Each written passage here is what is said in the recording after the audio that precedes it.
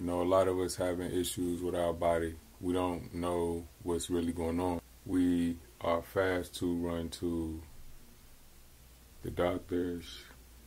We're quick to run to CVS, Walgreens, whatever, you know, drugstores, you know, prescriptions. One thing we never do though is give our body time, detox. We never give our body time to empty. We never really thought about that before, have we? I know I haven't. Please hit that like button, subscribe button, and comment below on each video. Uh?